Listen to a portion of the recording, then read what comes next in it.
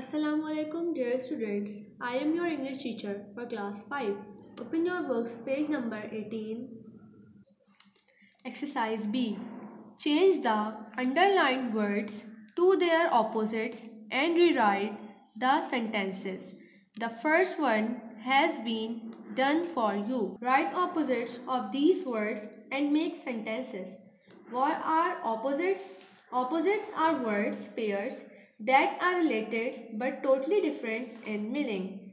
For example, Hamelin is a big town. In this sentence, underlined word is big. So opposites of big is small. Answer is Hamelin is a small town. The Pied Piper was short and fat. Here is a mistake. Correct it. Underline word short. Opposite of short is tall and opposite of fat is thin. Answer is the Pied Piper was tall and thin. Number 3. The Pied Piper played a bitter tune. Opposite of bitter is sweet. Answer is the Pied Piper played a sweet tune. Number 4. The people were sad. Opposite of sad is happy. So answer is the people were happy. Promises must be broken. Opposite of broken is kept. So answer is promises must be kept. Number 6. He was a foolish man. Opposite of foolish is wise. So answer is he was a wise man. Exercise C. We can form some opposites by simply adding un or im to the word. We make opposites by adding un and im. When we add un or im in front of some words to make opposites, these are also called prefix. For example, patient is a word. When we add im, so it becomes impatient. Patient, which is opposites of patient. Lucky, lucky is a word. When we add un in front of lucky, so it becomes unlucky and it's a opposite of lucky.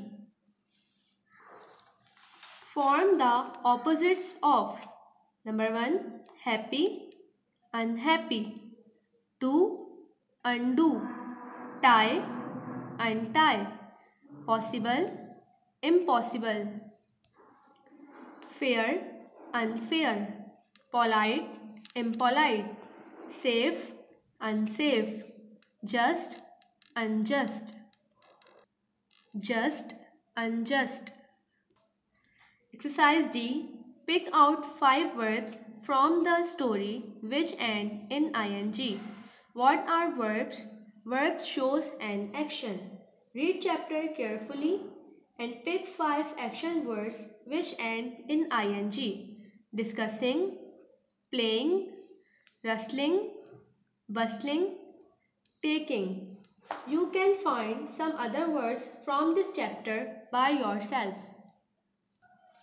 Exercise A.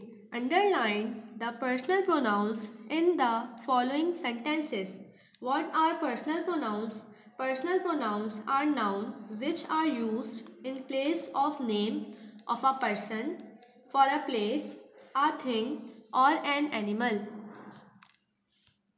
This is a chart of personal pronouns. These are simple pronoun and these are possessive pronouns. There are three different pronouns. First person, I, and we. Second person you and third person he, she, it, they and any name. First person is used for speaker, second is used for listener and third person is used for person who is not present. We used he for singular male third person, she for singular female third person and it For singular, animal or non-living thing, third person. We use you for singular, second person. I for singular, first person. They for plural, third person. And we for plural, first person. Let's start. He is playing with his friends in the park. In this sentence, he and his are personal pronouns. Number 2. She is walking with her mother. She and her are personal pronouns. Number 3. You should tell him to do his homework every day. You, him and his are personal pronouns. Number 4. It is her dog. She must take care of him. In this sentence, her, she and him are personal pronouns. Number 5. Tell him not to disturb us as we are working on our project. Him, us, we and our are personal pronouns. Exercise B. Rewrite the following sentences using possessive pronouns.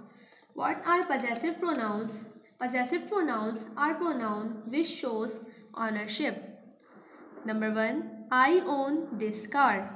This car is dash. I own this car. This car is mine. These dresses belong to me. These dresses are dash. These dresses belong to me. These dresses are mine. Sarah bought a house. It is dash. Sarah bought a house. It is her house. The pigeon belongs to the farmer. The pigeon is dash. The pigeon belongs to the farmer. The pigeon is his. The football belongs to them. The football is dash. The football belongs to them. The football is theirs. Exercise C. Fill the blanks with suitable demonstrative pronouns. What are demonstrative pronouns? Demonstrative pronouns are used to point at the nouns pronouns like this, these, that and those are demonstrative pronouns. This is a chart of demonstrative pronouns.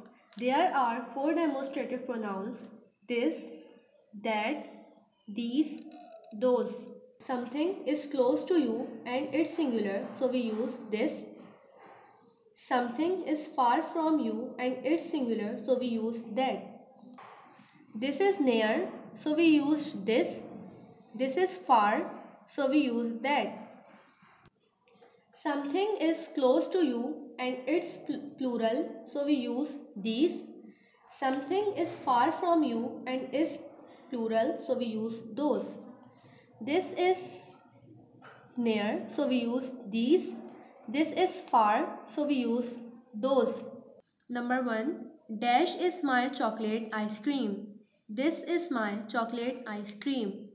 Dash are your letters which have arrived by the post today. These are your letters which have arrived by the post today.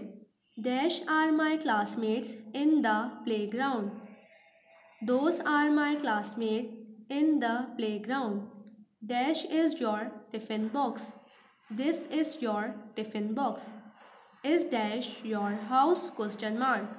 Is this your house question mark? Complete all exercises in your book. Dear students, this is the end of today's lecture. Complete your homework and submit it on coming Tuesday. Thank you.